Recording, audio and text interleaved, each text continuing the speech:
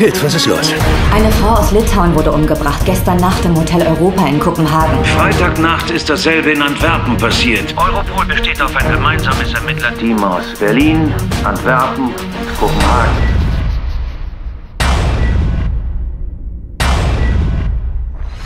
Unsere Kollegen sind aus Antwerpen Kriminalkommissarin Alicia Verbeek, Sie wissen, wer Ihre Tochter getötet hat. Ich würde gern gehen, wenn Sie erlauben. Alicia Verbeek muss an die kurze Leine. Je kürzer, desto besser. und äh, Jackie Müller, Hauptkommissarin vom BKA in Berlin. Ich bin mir sicher, dass hinter den drei Morden drei ganz unterschiedliche psychologische Profile stecken.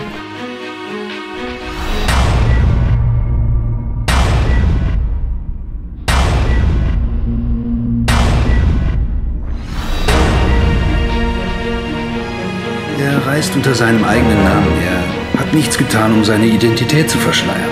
Er will, dass man ihn sieht. Und warum versteckt er sich, wenn er will, dass man ihn sieht? Weil er nicht verhaftet werden will. Nur weil jemand am Tatort gesehen wurde, heißt es nicht zwangsläufig, dass er der Mörder ist. Du hast keine Ahnung, was das für Schweine sind.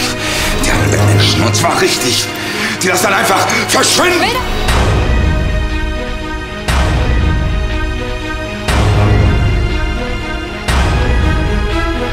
Ziehen Sie Ihre Männer ab. Wir müssen sofort verschwinden.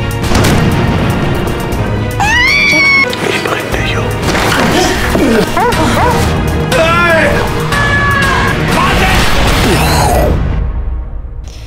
Es ist erschütternd.